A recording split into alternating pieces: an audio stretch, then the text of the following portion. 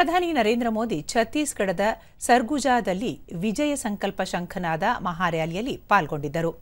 ಸಮಾವೇಶ ಉದ್ದೇಶಿಸಿ ಪ್ರಧಾನಿ, ಕಾಂಗ್ರೆಸ್ ಪ್ರಣಾಳಿಕೆಯ ಮೇಲೆ ಮುಸ್ಲಿಂ ಲೀಗ್ ಪ್ರಭಾವ ಇದೆ, ಧರ್ಮದ ಆಧಾರದ ಮೇಲೆ ಮೀಸಲಾತಿ ನೀಡುವುದು ಸರಿಯಲ್ಲ, ಹಿಂದುಳಿದವರು, ವಂಚಿತರು ಹಾಗೂ ಬುಡಕಟ್ಟು ಜನರಿಗೆ ನ್ಯಾಯಬದ್ಧವಾಗಿ ಮೀಸಲಾತಿ ದೊರೆಯಬೇಕು ಎಂದು ಅಭಿಪ್ರಾಯಪಟ್ಟರು.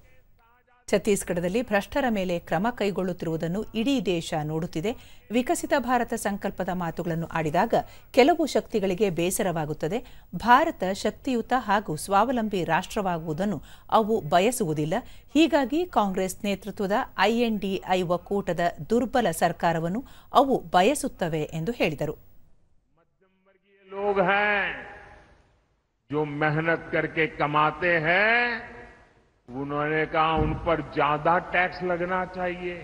ये इन्होंने पब्लिकली कहा है। अब ये लोग उससे भी एक कदम आगे चले गए हैं।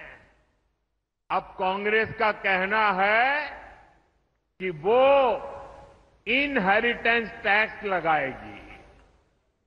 माता पिता से मिलने वाली विरासत पर भी टैक्स लगाएगी। आप जो अपनी मेहनत से संपत्ति जुटाते हैं, वो आपके बच्चों को नहीं मिलेगी, बल्कि कांग्रेस सरकार का पंजा उसे भी आपसे छीन लेगा।